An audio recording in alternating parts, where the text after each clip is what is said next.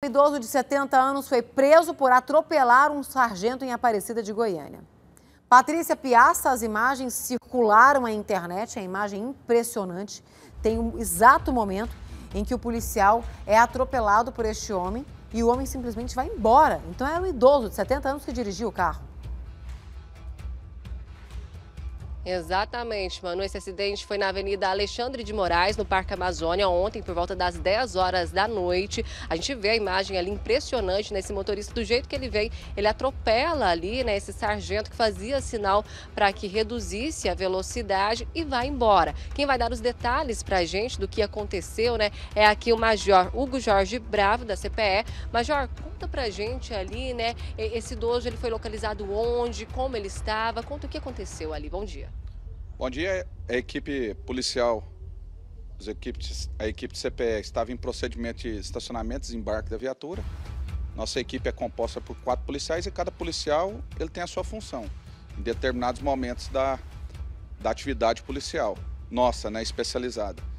O policial desembarcou, o sargento Valdir era o responsável ali para estar tá fazendo o balizamento do trânsito. Segurança para a equipe e segurança também para o transeunte que está repassando ali no local. Ali, o policial, a gente vê pelas imagens que ele foi altamente profissional, porque ele não sinalizou somente com, com os gestos, mas também fez o sinal sonoro com a sua lanterna, indicando que ali ele deveria reduzir a velocidade. Porém, o condutor do outro veículo, posteriormente a gente detectou que estava com seu nível de teor alcoólico muito acima do, do normal, do permitido. Na verdade, não, não, é zero, né, o permitido. Ele estava ali muito acima do que a lei determina, principalmente na configuração ali da embriaguez ao volante. Então, é, ele atingiu o policial militar, o policial militar naquele momento ele cai embaixo da viatura e ali impossibilita a equipe de fazer o acompanhamento e de buscar a detenção ali do criminoso naquele momento. Porém, um policial militar nosso, altamente profissional, ele conseguiu identificar alguns caracteres da placa. Com base nesses caracteres, a gente fez uma consulta e aí a, a análise do trabalho nosso serviço de inteligência, a gente identificou a placa. E aí a equipe policial, as equipes foram até a residência do autor e lá encontrou. O autor que é um servidor público, 70 anos de idade, estava na posse do veículo e estado de completa embriaguez. Ele foi encontrado em qual setor? Foi encontrado no Parque Real, em Aparecida de Goiânia. Agora, como que está o sargento, sargento Valdir, né? Qual é a situação dele? O sargento, ele teve é, um corte na cabeça, e foi feita a sutura, 10 pontos no local, teve uma luxação no ombro e vai ficar afastado das atividades por 60 dias. Agora vai o alerta, né? O sargento, graças a Deus, está bem, está recuperado, mas poderia ter acontecido uma tragédia, poderia ser qualquer outra pessoa passando ali também. Né? Poderia ser um idoso, uma criança, uma pessoa voltando da faculdade, voltando do serviço. E falta de, de orientação não, não é, né? O, hoje, mais do que, do que público, as campanhas que são feitas pelos órgãos de trânsito, de que bebendo não dirija.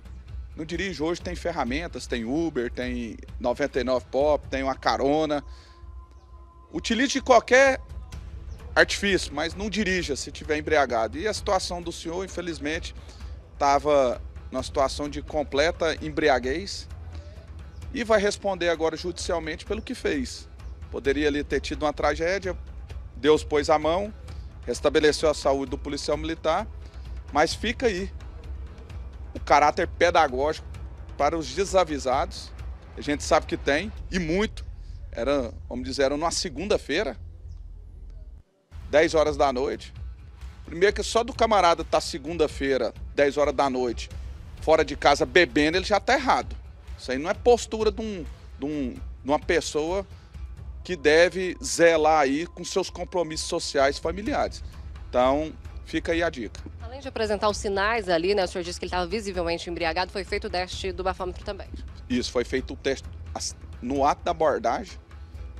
Foi chamada a equipe do batalhão de trânsito, compareceu no local com o etilômetro, foi feito o teste ali e ficou materializado os níveis de teor alcoólico de, que estava ali, vamos dizer assim, bem acima do até do normal em caso de embriaguez. Caracterizou a prisão em flagrante? Foi preso em flagrante pelos crimes de tentativa de homicídio, omissão de socorro e embriaguez ao volante. Tá certo. Muito obrigada pelas informações. Manu, tá aí, né? A gente cansa de mostrar esse tipo de caso aqui na televisão de pessoas que bebem, pegam o volante aí, podem provocar tragédias, né? Graças a Deus, o Sargento Valdir tá bem. A gente torce pela recuperação dele, que já tá em casa, né? Logo, logo deve voltar aos trabalhos, mas fica aí, né, a orientação. Gente, se beber, como é, o Major disse aqui, né? Tem vários meios de você poder se locomover. Não precisa pegar um carro, um volante, colocar a vida de ninguém em risco, né, Manu? É, pelo amor de Deus, né, Patrícia? É inacreditável. A imagem é impressionante, né?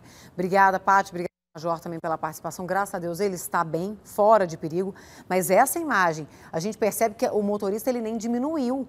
Ele nem diminuiu. E, e detalhe, o, o sargento estava ali ó, com a lanterna, com tudo certinho, né? Sinalizando. A viatura estava aqui, ou seja, ah, eu não vi? Como não viu? Tinha lanterna, tinha viatura. Se você não viu, meu amigo, então você estava muito mais medo do que a gente imagina.